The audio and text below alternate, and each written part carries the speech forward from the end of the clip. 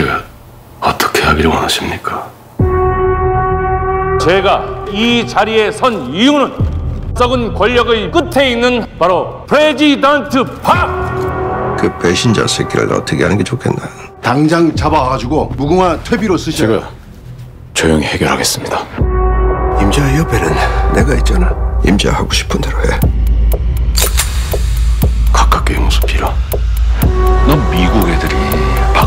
언제까지 저렇게 놔둘 것 같아?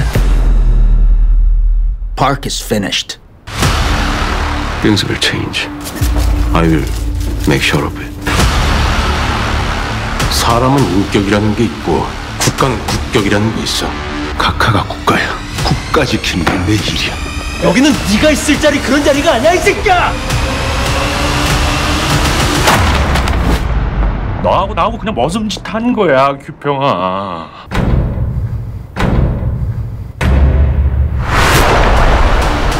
계엄령은 안 됩니다.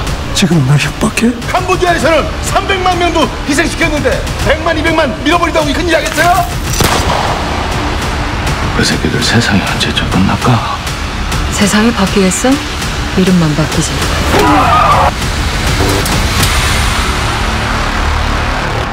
각하 정치를 좀 대국적으로 하십시오.